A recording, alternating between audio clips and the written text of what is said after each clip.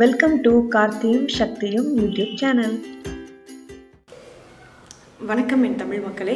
இன்றைக்கி வந்து நம்ம யாரை பற்றி பார்க்க போகிறோம் அப்படின்னா இன்றைக்கி நம்ம பசும்பன் முத்துராமலிங்க தேவரையா பற்றி தான் பார்க்க போகிறோம் இது வரைக்கும் நான் ரெண்டு பேரை பற்றி பேசியிருக்கேன். இந்த ரெண்டு பேரும் எங்கள் ஊரை சேர்ந்தவங்க. அதே பெருமையோட நம்ம தேவரையாவும் எங்கள் ஊர் ராமநாதபுரம் பசும்பொன்னில் பிறந்தாருங்கிறது எனக்கு ரொம்ப ரொம்ப சந்தோஷம். ப்ரௌடான மூமெண்ட் வேறு. ஸோ முத்துராமலிங்க தேவரையா வந்து ஒரு ஜபீன்தார் ஃபேமிலியில் பிறந்தவர் தான். அவங்க அப்பா வந்து உக்ரபாண்டி தேவர் அம்மா வந்து இந்திராணி. அவங்களுக்கு தான் பிறக்கிறாங்க. அவங்களுக்கு கூட பிறந்தவங்க யாருமே இல்லை. அவங்க மட்டும்தான். ஸோ சின்ன வயசுலேயே ஒரு ச- ஒரு சிக்ஸ் மந்த்ஸ் பேபியாக இருக்கும் போதே வந்து அவங்களோட தேவரையாவோட அம்மா இறந்து போகிறாங்க இறந்து போனோன்னா அவங்க பாட்டிக்கிட்ட தான் வளர்கிறாங்க அம்மா வழியில் உள்ள ஒரு பாட்டிக்கிட்ட வளர்கிறாங்க அந்த ஏரியாவில் இருக்க ஒரு முஸ்லீம் அம்மா தான் வந்து நம்ம தேவரையாக்கு பால் கொடுத்து வளர்த்துருக்காங்க. அப்புறம் வந்து கொஞ்சம் லேட்டரான ஆனோன்னா அவங்க ஸ்டடீஸ் கல்வி கற்றுக் கொடுத்தது வந்து ஒரு கிறிஸ்டியன் இதுலேருந்து தான் கல்வி கற்றுக் கொடுத்துருக்காங்க. ஸோ பாருங்கள் சின்ன வயசுல அவர் எந்த மத சார்பையும் இது பண்ணல எந்த சாதி வேறுபாடும் இல்லை. அப்படிப்பட்ட தலைவர் தான் நம்ம தேவரையா. ஸோ அவரை பற்றி கொஞ்சம் இன் இன்ட்ரெஸ்டிங்கான விஷயங்களை மட்டும் நான் உங்களோட ஷேர் பண்ணணும்னு நினைக்கிறேன். ஸோ தேவரையாக்கும் நேதாஜிக்கும் ஒரு பெரிய ஒரு பாண்டிங் இருக்குது அது கண்டிப்பாக எல்லாருக்குமே தெரியும். ஸோ நேதாஜியை மீட் பண்ணது வந்து ஒரு ஆக்சிடென்டலாக தான் மீட் பண்ணியிருக்காங்க. சொத்து விஷயமா வந்து இங்கே ட்ராவல் பண்ணி போயிருக்காங்க. அங்கே போன அப் போன அப்போ வந்து ஸோ அங்கே வந்து ஒரு கட்சி ரீதியாக ஒரு கூட்டம் ஒன்று நடக்குது. அந்த கூட்டத்தில் வந்து நேதாஜி அவர்கள் பேசுகிறாங்க அதை பார்த்து ரொம்ப பிரமிச்சு போய் அவர் அவர் என்ன சொல்கிறது நேதாஜியை வந்து நேதாஜி தான் ஒரு தலைவராக இருக்கணும் அப்படின்னு அவருக்குள்ளேயே வந்து நேதாஜியை வந்து ரொம்ப பிடிக்க ஆரம்பிச்சது தேவரையாக்கு. ஸோ உடனே போயிட்டு வந்துடுறாங்க. அதுக்கப்புறம் இன்னொரு விஷயம் என்னென்னா தமிழ்நாட்டில் ஃபஸ்ட்டு ஃபஸ்ட்டு நேதாஜியை கூட்டிகிட்டு வந்தது நம்ம தேவரையா தான். ஸோ மதுரைக்கு கூட்டிகிட்டு வந்திருக்காங்க. ஸோ இன்னொரு விஷயம் வந்து காமராஜர் பற்றி காமராஜர் ஒரு தடவை வந்து ஒரு தொகுதியில் நிற்கிறதுக்காக வந்து போட்டியிடுறதுக்காக நாமினேஷன் பண்ண போயிருக்காங்க. அங்கே வந்து அவரை பண்ண விடலை. ஏன்னா அவர் பேரில் எந்த சொத்து இல்லை அப்படின்னு உங்கள் எல்லாருக்குமே தெரியும். பாலிடிக்ஸில் இருக்கணும். அந்த மாதிரி ஏதாச்சும் ஒரு இடத்துல வந்து எம்பியாவோ எம்எல்ஏவோ இல்லை ஏதோ ஒரு தொகுதியில் வந்து கவுன்சிலரோ எப்படி இருந்தாலுமே ஒரு சொத்து மதிப்பு ஒரு குறிப்பிட்ட மதிப்பு இரு இருக்கணும். அதை காமிக்கணும்னு சொல்லுவாங்க. அந்த காலத்தில் அதே மாதிரி தான் ஸோ அப்போ வந்து காமராஜர்கிட்ட எந்த ஒரு சொத்து அவர் பேரில் இல்லை. அப்போ அது இது அதனால் வந்து நிற்க முடியாதுன்னு சொல்லிடுறாங்க. ஸோ இதை தெரிஞ்சு நம்ம தேவரையா என்ன பண்ணுறாங்க அப்படின்னா அங்கே போய் அவங்க அம்மா கிட்ட கேட்கும்போது அது வந்து பெண் பிள்ளைகளுக்கு தான் இருக்குது அப்படிங்கிற மாதிரி சொல்லிடுறாங்க. உடனே இவர் என்ன பண்ணுறாரு ஒரு நாலஞ்சு ஆட்டுக்குட்டியை வாங்கி அதை வந்து காமராஜர் அவர்கள் பேரில் வந்து சொத்தாக எழுதி அதை வந்து காமிச்சு அவர் நிற்க வச்ச பெருமை வந்து தேவரையாக்கு தான் இருக்குது. ஃபஸ்ட்டு ஃபஸ்ட்டு இவர் பண்ண ஸ்பீச்சும் அதுவும் வந்து ஒரு ஆக்சிடென்டெல்லாம் நடந்தது தான். முதுகலத்தூரில் வந்து ஒரு சேதுராம செட்டியார் வந்து ஒரு பாடகசாலை விவேகானந்தர் பாடகசாலை ஒன்று ஆரம்பிக்கிறாங்க. அதுக்கு வந்து ஸ்பீச் பண்ணுறதுக்கு வந்து மதுரையிலேருந்து கிறிஸ்மஸ் கிருஷ்ணசுவாமி அவங்கள வந்து அழைச்சிருக்காங்க. ஸோ அந்த டைமில் அவரால் வர முடியல. அப்போ வந்து தேவரையா ஏதோ ஒரு பஞ்சாயத்துக்காக சாயல்குடி பக்கத்தில் உள்ள இலந்தை குளம்னு ஒரு கிராமத்துக்கு வந்து போயிருக்காங்க. அதை தெரிஞ்சு சேதுராமன் செட்டியார் என்ன செய்கிறார் அப்படின்னா அவரை போய் அழைச்சிட்டு வந்து நீங்கள் வந்து விவேகானந்தரை பற்றி பேசுங்கன்னு சொல்கிறாங்க அதுதான் அவரோட ஃபஸ்ட்டு ஃபஸ்ட்டு ஸ்டேஜ் எக்ஸ்பீரியன்ஸ் அப்போ தான் பேசுகிறாங்க இப்போ கண்டினியூஸாக த்ரீ ஹவர்ஸ் பேசியிருக்காங்க. சான்ஸ்லெஸ் பெர்ஃபார்மன்ஸாக இருந்துச்சோம் அவ்வளோ சூப்பராக இருந்துச்சான் அவரோட ஸ்பீச்சு கேட்டுக்கிட்டே இருக்கணும் போல இருக்குமா? இப்போ வரைக்கும் நீங்கள் போய் கூகுள் சர்ச் பண்ணிங்கன்னா அவரோட சில வீடியோஸ்லாம் இருக்கும். அவர் பேசுகிறது அவ்வளோ சூப்பராக இருக்கும். அப்போனா நேர நேர கேட்குறவங்களுக்கு எப்படி இருந்திருக்கும்னு பார்த்துக்கோங்க அந்த மாதிரி நான் சொன்னேன்ல அது- விவேகானந்தரை பற்றி ஒரு த்ரீ ஹவர்ஸ் பேசும்போது தான் ஃபஸ்ட் டைம் வந்து காமராஜர் வந்து பார்த்துருக்காங்க. பார்த்துட்டு சொல்லியிருக்காங்க. தேவரையா கிட்ட உங்களை மாதிரி ஒரு பர்சன் தான் வந்து காங்கிரஸ்க்கு வந்து தேவை அப்படின்னு சொல்லி சொல்லிட்டு போயிருக்காங்க. இன்னொரு சொன்னால் குற்ற பரம்பரை சட்டம்னு ஒரு சட்டம் வந்து அப்போ ரொம்ப கொடுமையான சட்டம் வந்து ஆங்கிலேயர் போட்டிருக்காங்க. யார் யாருக்கு அப்படின்னா கொஞ்சம் இந்த வீரமாக உள்ளவங்க எதையும் அப்போஸ் பண்ணி பேசுகிற மாதிரி ஒரு சமூக மக்கள் இருப்பாங்கள்ல அந்த சமூகத்தை வந்து குற்ற பரம்பரை சட்டம் அப்படின்னு சொல்லிட்டு அந்த சட்டத்தை கொடுத்துருக்காங்க. அந்த சைடு நார்த் சைடு பார்த்தீங்கன்னா இந்த மராத்திஸ் குஜராத்திஸ் அப்புறம் வந்து இந்த சீக்கியர்ஸ்கள் அவங்க. சவுத் சைடு இங்கே வந்து தமிழ்நாட்டில் பார்த்தீங்க அப்படின்னா முக்குளத்து முக்குளத்து சமூகத்தினர் வந்து கல்லர் மரவர் அகமுடையர் அவங்கள வந்து குற்ற பரம்பரை சட்டத்தில் வந்து இது பண்ணியிருக்காங்க அது என்ன அப்படின்னா டெய்லி ஆறு மணி ஆனோன்னே கட்டவரலில் உள்ள அந்த ரேகையை போய் போலீஸ் ஸ்டேஷனில் பதிஞ்சிட்டு அங்கேயே இருக்கணுமா? நைட் ஃபுல்லாக வீட்டுக்கு அனுப்ப மாட்டாங்க. என்னவாக இருந்தாலும். ஈவன் வந்து யாரா வயசானவங்களாக இருந்தால் கூட இல்லை புதுசாக கல்யாணம் ஆனவங்க இல்லை ஏதாச்சும் குழந்தை பிறந்தவங்க எதாக இருந்தாலும் அந்த சிக்ஸ் ஓ கிளாக் மேலே அவங்க வீட்டுக்கு போக முடியாதான் ஸோ அதுதான் குற்ற பரம்பரை சட்டம்னு ஒரு சட்டம் இருந்திருக்கு. கொடுமையான சட்டம். இதை வந்து முன்னாடி இருந்தே ரொம்ப எதிர்த்திருக்காரு நம்ம தேவரையா. அவர் என்ன அவர் போய் மக்கள்கிட்ட போய் பிரச்சனை பிரச்சாரம் பண்ணுறாரு அந்த மாதிரி பேசுகிறாரு இதெல்லாம் ரொம்ப தப்பு நம்ம போடக்கூடாது. அப்படி போய் நீங்கள் போட்டிங்கன்னா உங்கள் கட்டை விரலை கட் பண்ணிக்கோங்க போடுறதுக்கு பதிலாக அப்படின்னு பயங்கரமாக ஸ்பீச் வந்து கொடுப்பாராம். அவங்களோட அப்பா வந்து நீதி கட்சியில் இருந்தாங்க. நீதி கட்சினா இந்த ராமநாதபுரத்தோட ராஜா வந்து போட்டியிடுறாரு.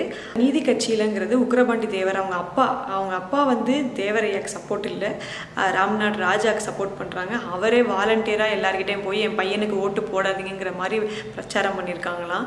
அப்படி இருந்துமே வந்து ஆப்போசிட்டாக ஒரு ராஜாவுக்கு ஆப்போசிட்டாக வந்து நம்ம தேவரையா வந்து தேர்தலில் நின்று வெற்றி பெற்றிருக்காங்க. அது எவ்வளோ பெரிய இதுன்னு பாருங்கள் அந்த காலத்துலலாம் எப்படி இருக்கும்? இப்போவே எப்படி இருக்குது அந்த காலத்தில் யோசிச்சு பாருங்கள் ஒரு ராஜாக்கு தாப்பில் நிற்கிறதுங்கிறதே பெரிய விஷயம். இதில் வந்து தேவரையாவோட அப்பா வந்து தேவருக்கு ஓட்டு இட வேணான்னு எல்லாருக்கிட்டே சொல்கிறாங்க அந்த டைம்லையும் அவர் வின் பண்ணுறாரு சொல்கிறாங்க இன்னொரு இன்சிடென்ட் சொல்கிறேன் இதில் வந்து வாய்ப்பூட்டு சட்டம் போடுறாங்க அப்படின்னா வந்து அவர் எந்த தேர்தல் பிரச்சாரத்துலையும் பிரச்சாரம் பண்ணக்கூடாது பேசக்கூடாது. ஒன்லி ஸ்டேஜுக்கு போகணும். தேர்தலை பற்றியோ என்ன பற்றியோ எந்த வாக்கு எதுவுமே கொடுக்கக்கூடாது. அந்த மாதிரி ஒரு சட்டம் போட்டிருந்தாங்க. அப்படி இருக்கும்போது தேவரையா வந்து ஒரே ஒரு லைன் தான் சொன்னாராம். நான் பிறவிலே உண்மை இல்லை. நடுவுலையும் ஊமை இல்லை சர்க்காரால் ஊமையானேன் அப்படின்னு சொல்லியிருக்காங்க. அந்த ஒரே ஒரு லைன் தான் அது வேற எதுவுமே அவர் பேசல வின் பண்ணிட்டாங்க. அவங்க நின்ற எல்லா எல்லா எலெக்ஷன்ஸ்லேயும் அவங்க வந்து ஜெயிச்சிருக்காங்க. அது மாதிரி நேதாஜி நேதாஜி அவர்கள் வந்து ஒரு தடவை பட்டாபி பட்டாபின்னு ஒருத்தவங்க இருக்காங்க. அவங்களுக்கு ஆப்போசிட்டாக வந்து நின்றுருக்காங்க. போட்டிகிட்ருக்காங்க இருக்காங்க அந்த பட்டாபிங்கிறவங்கள வந்து மகாத்மா காந்தி அவங்க அவங்க மூலமாக நிப்பாட்டியிருக்காங்க. இங்கே வந்து நேதாஜி நின்றுருக்காங்க. ஸோ நேதாஜிக்கு வந்து அதிக வாக்கு வந்து நம்ம தமிழ்நாட்டில் இருந்து தான் போட்டிருக்காங்களாம் அதுவும் தேவரையா வச்சு தான் அவருக்கு அவ்வளோ வாக்கு பண்ணி அதில் வந்து வின் பண்ணிடுறாங்க. அதை வின் பண்ணதோட மகாத்மா காந்தி அவர்கள் என்ன சொல்கிறாங்கன்னா பட்டாபி தோத்தது நான் தோத்த மாதிரின்னு ஒரு ஸ்டே ஸ்டேட்மெண்ட் கொடுக்குறாங்க. அந்த ஸ்டேட்மெண்ட்டை வந்து நேதாஜினால் அக்செப்ட் பண்ண முடியல. ஒரு மாதிரி ஆயிடுச்சு. உடனே காங்கிரஸை விட்டு அவங்க வெளியே வந்துடுறாங்க. வெளியே வந்து ஃபார்வர்ட் பேக்னு ஒரு கட்சி ஆரம்பிக்கிறாங்க. அந்த கட்சியில் வந்து நம்ம தமிழ்நாட்டில் வந்து சவுத் தமிழ்நாட்டில் வந்து நம்மளோட முத்துராமலிங்க தேவரையா வந்து தலைவராக இது பண்ணுறாங்க ஸோ ஹெட்டாக அதை லீட் பண்ணுறதுக்கு பண்ணுறாங்க அந்த கட்சியை. ஸோ ஏன் முத்துராமலிங்க தேவரையா வந்து காங்கிரஸ் இதுலேருந்து வந்தாங்க அப்படின்னா நிறையா கோட்பாடுகள் அவங்களுக்கு அவங்களுக்கும் ஒத்து வரலை.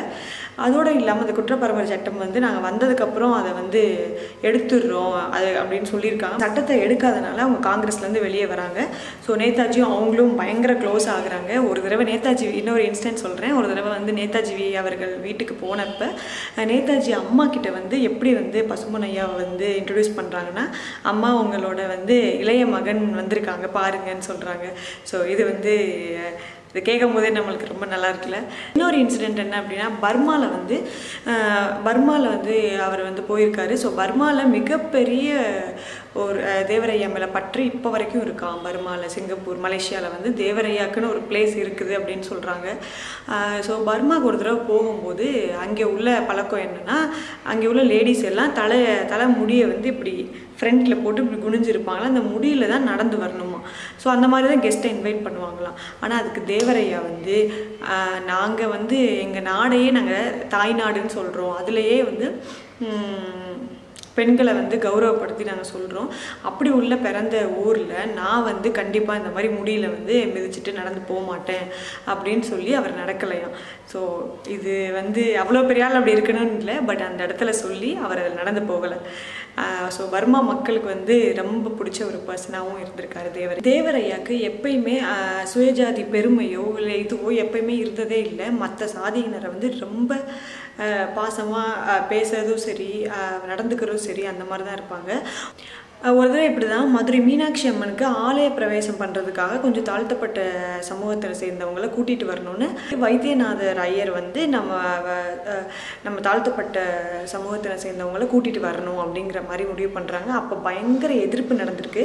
அப்படி கூட்டிகிட்டு வந்தீங்கன்னா நீங்கள் ஒரு ஒரு பக்கம் ஒரு குரூப் ஆஃப் பீப்புள் வந்து அந்த மாதிரி சொல்கிறாங்க இந்த மாதிரி கோயிலுக்குள்ளே நீங்கள் அலோவ் பண்ணிங்கன்னா பயங்கரமான பிரச்சனை உண்டாகும் அப்படி இப்படின்னு சொல்கிறாங்க இதை கேட்டு நம்ம தேவரையா என்ன சொல்கிறாங்க அப்படின்னா என்னோட சகோதரர்களான தாழ்த்தப்பட்ட மக்களை வந்து பாதுகாப்பாக வந்துட்டு போகிற வரைக்கும் இந்த அடியேன் பொறுப்பு அப்படின்னு வந்து ஒரு ஸ்டேட்மெண்ட் வந்து விடுறாரு.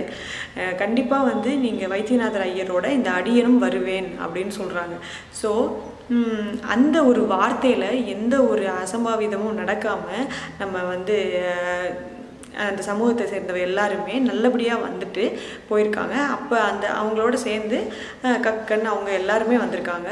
ஸோ வந்துட்டு சாமியை தரிசனம் பண்ணிட்டு கிளம்பியிருக்காங்க. ஸோ இது வந்து இப்படி ஒரு மனுஷனை பாருங்க. அவருக்கு தான் இப்போ வந்து நம்ம சாதி சாயத்தை பூ சாயத்தை பூசி ஒரு பிரிவினர்கள் மட்டும் கொண்டாடுற மாதிரி வச்சுருக்கோம். அப்பயும் போல் ஸ்டேட்மெண்ட் சொல்கிறாரு ஏதாவது அசம்பாவிதம் சந்தித்தால் அந்த ரவுடி கும்பலை சந்திக்க வேண்டிய இடத்தில் சந்திப்பேன் அப்படிங்கிற மாதிரி ஒரு போல்டு ஸ்டேட்மெண்ட் கொடுக்குறாரு. ஸோ எந்த ஒரு இதுவும் நடக்காமல் நல்லபடியாக அந்த ஆலய பிரவேசம் வந்து நடந்து முடிஞ்சிருக்கு. அதுக்கு உள்ள கர அரசியல் சுச்சுவேஷனில் வந்து இந்த மாதிரி தேவர் வந்து ரொம்ப போல்டு ஸ்பீச்சாகவும் எல்லாவும் எது எதிர்த்து இந்த மாதிரி போராடி இது பண்ணி பேசி இது பண்ணுறனால அப்போ உள்ள தலைமையில் இருந்த கட்சி எல்லாமே மோஸ்ட்லி வந்து இவரை அரெஸ்ட் பண்ணி அப்போ ஆங்கிலேயராட்சியும் இருந்துச்சு ப்ளஸ் இந்த ஒரு இந்த ஒரு இதுவும் இருந்துச்சு. இதெல்லாம் அரெஸ்ட் பண்ணுறது அடிக்கடி பாதி லைஃப் அவரோடது வந்து சிறையில் தான் அவரோட லைஃப் போச்சு. ஆனால் யாருக்குமே இல்லாத ஒரு ஸ்பெஷல் என்ன அப்படின்னா இவர் எந்த தேர்தலும் பிரச்சாரம் பண்ணி போனதே கிடையாது. ஆனால் வின் பண்ணியிருக்காங்க. மூணு தடவை நம்ம பார்லிமெண்ட் எலெக்ஷன்ஸில் வின் பண்ணியிருக்காங்க. நிறைய அப்புறம் நிறைய தடவை நிறைய தொகுதியில் வின் பண்ணியிருக்காங்க. அது மாதிரி அவர் பேசியே எல்லாம் இது பண்ணுவார். அந்த அளவுக்கு அவரோட ஸ்பீச்சில் வந்து வீரம் அப்படி இருக்குமா? உண்மையாகவே வீரம் இருக்குமா? அவரோட கோட்ஸே உங்களுக்கு தெரியும்ல தேசியமும் தெய்வீகமும் என் இரு கண்கள் சொல்லுவார். ஆன்மீகத்துக்கு அவ்வளோ ஒரு முக்கியத்துவம் கொடுப்பாரு.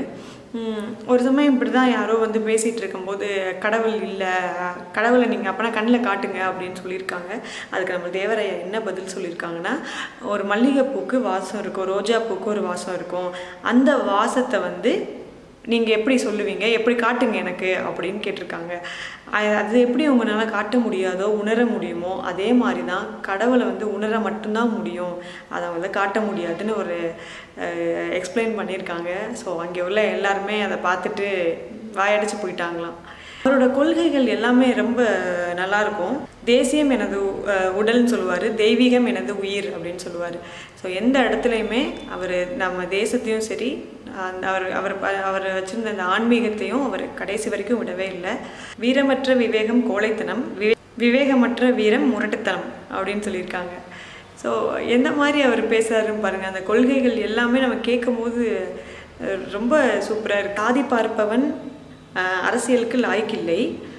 சாதி பார் சாதி பார்ப்பவன் வணங்கும் தெய்வத்தை நம்ம பூஜிக்கிறதுக்கு அர்த்தம் இல்லை அப்படின்னு சொல்கிறாரு இது இவ்வளோ சொல்கிற அவரை போய் இப்போ ஒரு ஒரு சாதியை பற்றி மட்டும் இந்த மாதிரி சொல்கிறது ரொம்ப ரொம்ப ரொம்ப தப்பான விஷயம்தான். இன்னொரு இன்சிடென்ட் என்ன அப்படின்னா நம்ம வந்து அகிம்சை வழியை அகிம்சை வழியை தான் ஃப்ரீடம் வாங்கினோம் அப்படி இப்படின்னு பேசினவங்க கிட்ட சொல்லியிருக்காரு.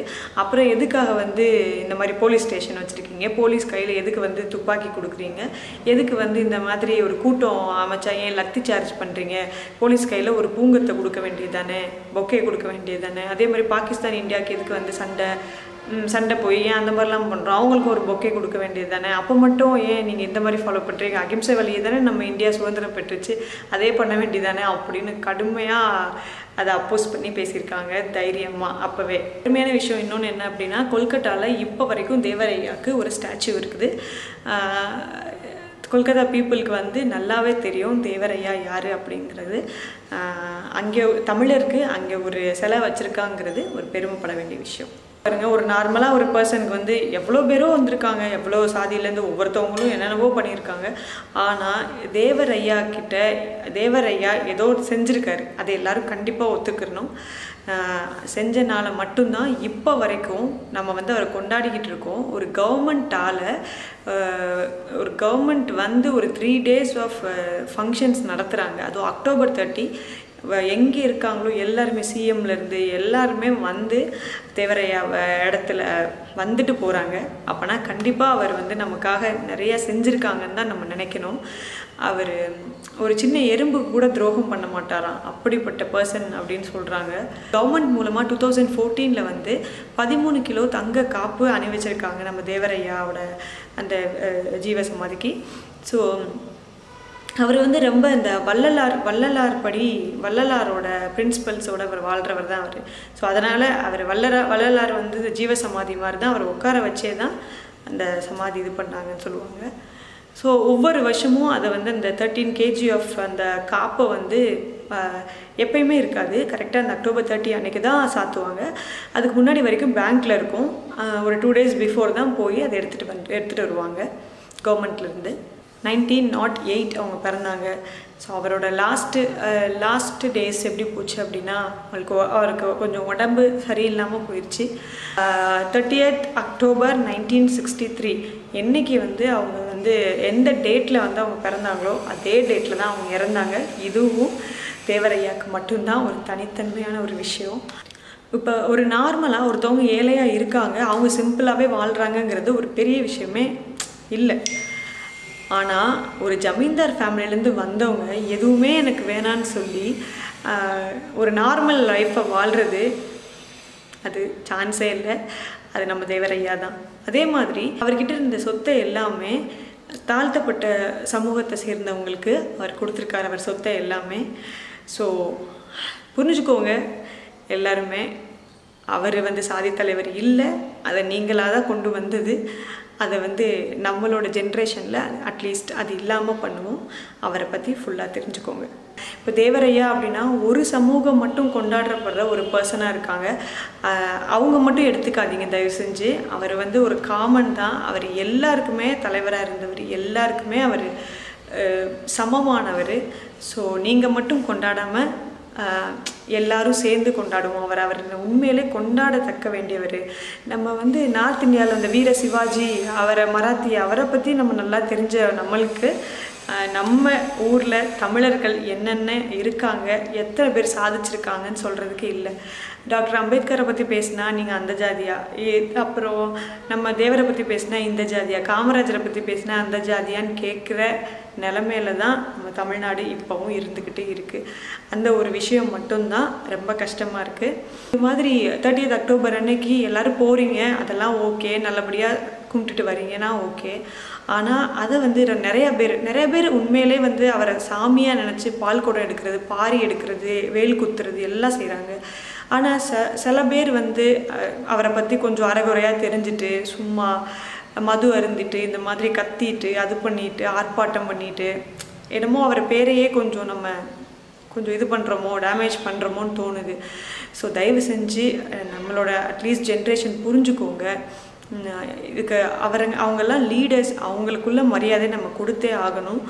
நம்ம போய் அவரை அவரோட என்னென்ன அவர் பேசியிருக்காரு எதெல்லாம் ஃபாலோ பண்ணியிருக்காரு அவரோட ஹிஸ்ட்ரி என்ன அவர் எந்த மாதிரி இருந்தார் அதை பின்பற்ற நம்ம ட்ரை பண்ணுவோம். அந்த பிரின்சிபல்ஸை நம்ம ஃபாலோ பண்ணுவோம். அதை விட்டுட்டு இந்த மாதிரி பண்ணுறது கொஞ்சம் நம்ம அவாய்ட் பண்ணலான்னு நினைக்கிறேன். ஸோ இப்பயும் சொல்கிறேன் அவர் எப்பயுமே மேல் ஜாதி கீழ் ஜாதி அந்த ஜாதி இந்த ஜாதின்னு பார்த்ததே கிடையாது. ஸோ என்னோடய ஃப்ரெண்ட் சர்க்கிளுமே நிறையா பேர் இன்றைக்கி ஸ்டேட்டஸில் வச்சுருக்காங்க. பசுவன் முத்துராமலிங்க தேவரையாவை. ஏன்னா அவங்களுக்கும் அவங்களுக்கு அவங்களுக்கும் அவங்க வந்து ஒரு தலைவன் தான். அதனால் புரிஞ்சுக்கோங்க. ஸோ ஒரு சமூகம் மட்டும் கொண்டாடாதீங்க. எல்லாரும் கொண்டாடப்பட வேண்டிய ஒரு ஆள் தான் நம்ம தேவரையா. தயவு செஞ்சு அதை ஒத்துக்க ஆரம்பித்தாதான் தமிழ்நாடு நம்ம நம்ம தமிழர்கள் எல்லாம் சேர்ந்து ஒத்துக்க ஆரம்பித்தாதான் நம்மளை வந்து இந்தியா லெவலில் அட்லீஸ்ட் வேர்ல்டு லெவலில் நம்மளை எடுத்துப்பாங்க. நம்மளை நம்மளோட ஹிஸ்ட்ரி நம்மனாலேயே பாதி இல்லாமல் போயிடுறது காரணமே எல்லார் மேலேயும் சாதி சாயம் பூசுறதுனால தான் ஸோ தயவு செஞ்சு எல்லா லீடர்ஸ்க்கும் நம்ம ரெஸ்பெக்ட் கொடுப்போம். எல்லாரோட எல்லாரோட வரலாறை ஃபஸ்ட்டு படிங்க. படிக்காமல் இவங்க அப்படி இப்படின்னு நம்ம பேசுகிறது தப்பு. எல்லாரோட எல்லாரோட ஹிஸ்ட்ரியை படித்து தெரிஞ்சுப்போம். நம்ம லீடர்ஸ்க்கு எப்பயுமே சாதி சாயம் பூச வேணாம். அவங்கள நம்ம எப்பயுமே ரெஸ்பெக்டோட அவங்களோட அட்லீஸ்ட் அவங்க பர்த்டே அவங்களோட இது டே அப்போயாச்சும் நம்ம ஞாபகம் வச்சுக்குப்போம் அதுதான் நான் கேட்டுக்கிறேன். எஸ் இது வரைக்கும் நான் வந்து தேவரையா பற்றி பேசினேன். இன்னொரு ஸ்பெஷல் டே ஒரு ஸ்பெஷல் ஸ்பெஷல் டே ஸ்பெஷல் பர்சனோட பர்த்டே அதுதான் என்னோட அப்பா.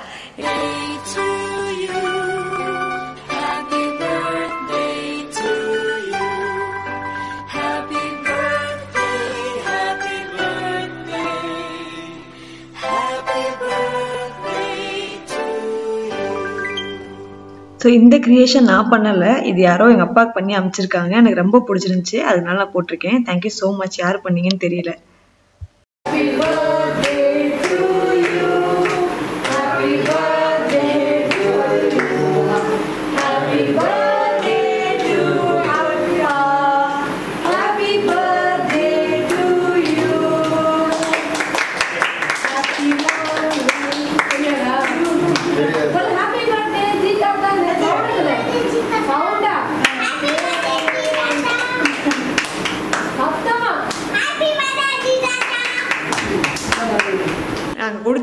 இருக்குன்னு சொல்லணும். அந்த மாதிரி தான் ஒரு நல்ல அப்பா ஒரு நல்ல ஹஸ்பண்ட் ஒரு நல்ல மாமனார் ஒரு நல்ல தாத்தா இப்படி எல்லா போஸ்டிங்லேயுமே சூப்பராக நீங்கள் இருக்கீங்க. அதை அப்படியே கண்டினியூ பண்ணுங்கப்பா. Thank you so மச்ப்பா bye take care I love you bye bye